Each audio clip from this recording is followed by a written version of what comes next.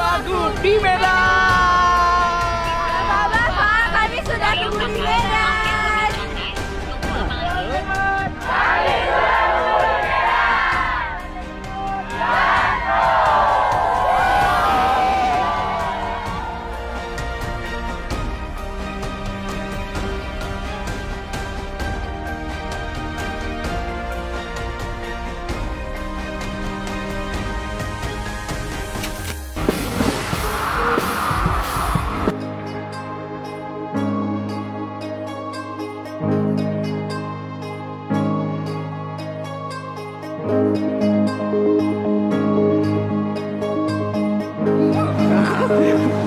Jangan bersedih terlalu berlarut-larut.